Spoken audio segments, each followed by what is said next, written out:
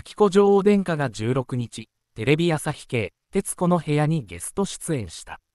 薄水色の着物で登場された。ございますという話す高貴さを見せながらも親しみある話し方をなされた。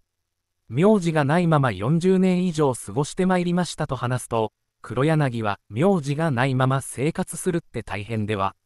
と質問、イギリスではただ、アキコで終わりますけど、日本におりますとアキコ女王です。と自己紹介することが多いので、アキコが名字で、女王が名前と思われることが時々あって変わったお名前ですね。と言われたりすることも時々ありますと答えた。銀行に行って口座を開くときとかお困りではという問いには、姓と名を分けて書かなきゃいけないときに、姓のところを開けて書くと名字のところが空いておりますがと言われて私。名字がないものですから、と答えると名字がない、と固まられてしまったり、と苦労談を吐露した。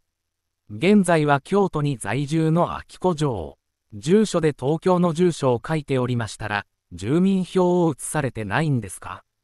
と言われて、住民票がないんです。と言うと、住民票がない。と先方が困惑する。とか、ややこしいことになったりもしますというもはたっぷりに明かされた。秋子女王はイギリス、オックスフォード留学時代の思い出を親しみあるエピソードなどで紹介した、赤と青のガウン、PHP 研究所が30万部の現在ベストセラーになっている。